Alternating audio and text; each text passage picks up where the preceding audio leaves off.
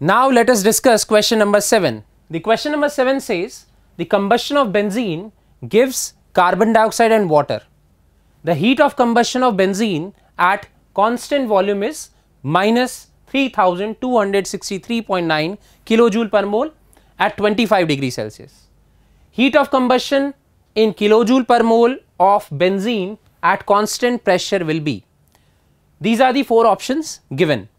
Now here in this question this is important point we are given with heat at constant volume and we have to find heat at constant pressure.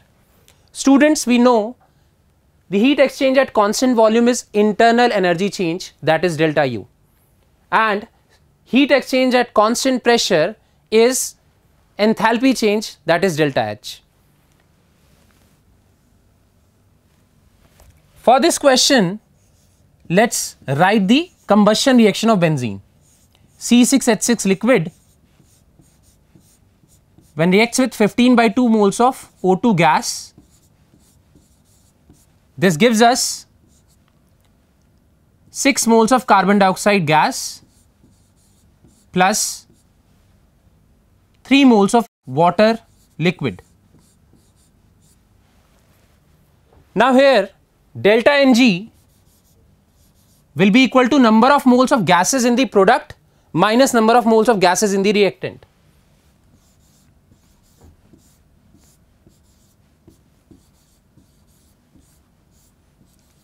Now in product we have 6 moles of the gas and in the reactant we have 15 by 2 moles of oxygen.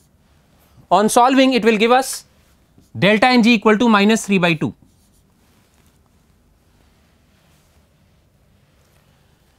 Now as we know delta H is equals to delta U plus delta Ng RT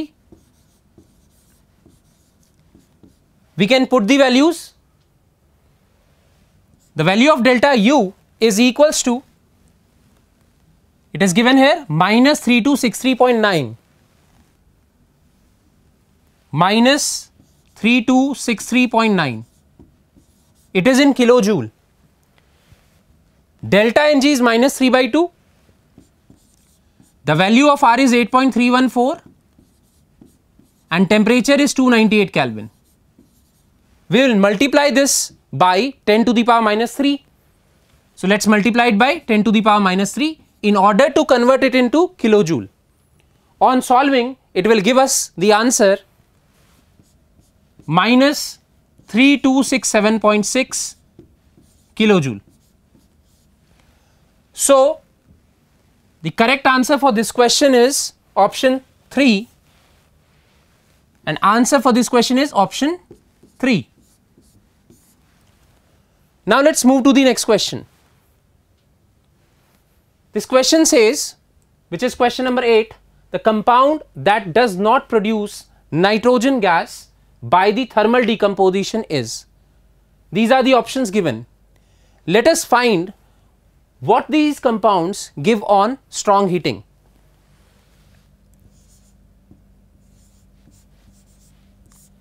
When ammonium dichromate is heated,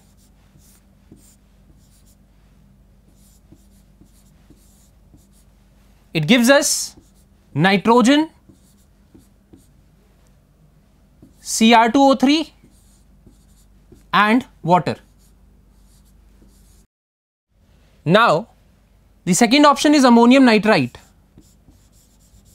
When ammonium nitrite is heated, it gives us N2 and H2O.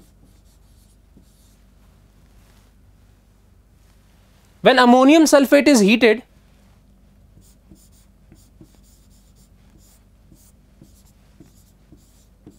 it gives us ammonia gas and H2SO4. When barium azide is heated,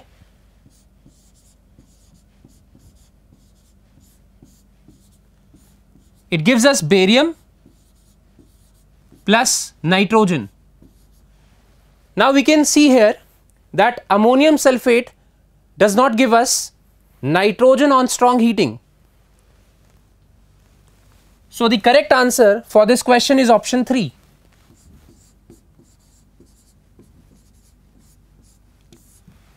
Now let us move to the next question. The next question is question number 9 which says how long approximate should water be electrolyzed by passing through 100 amperes current so that the oxygen release can completely burn 27.66 gram of diborane. Now this question belongs to electrochemistry chapter. Here we will apply Faraday's law of electrolysis. First of all we have to understand how much oxygen is required. If I talk about B2H6 when it reacts with oxygen it gives us B2O3 plus 3 moles of H2O. In this reaction we can see we need 3 moles of oxygen for 1 mole of B2H6. The mass of 1 mole of B2H6 is around 27.66 gram. So 27.66 gram of B2H6 require 3 mole of oxygen.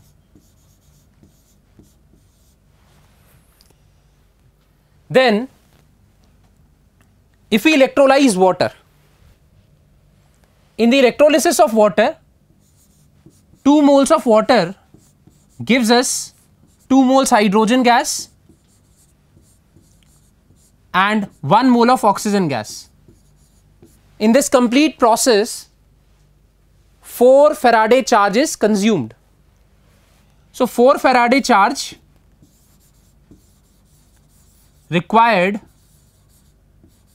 for 1 mole oxygen.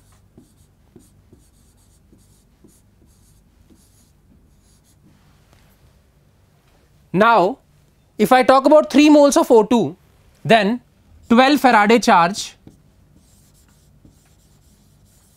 is required for 3 moles of O2.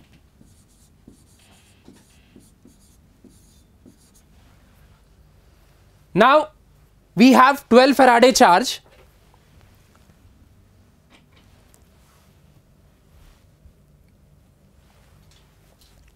Now, we have 12 Faraday charge.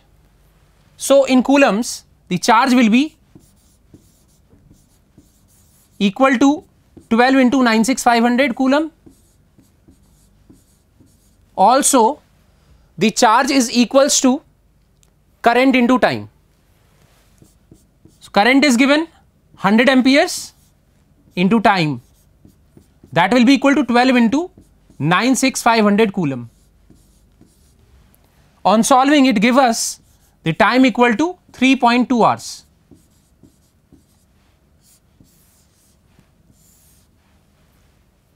Students, here the time will be in seconds which when divided by 3600 gives us time in hours. So, the correct answer for this question is option 2.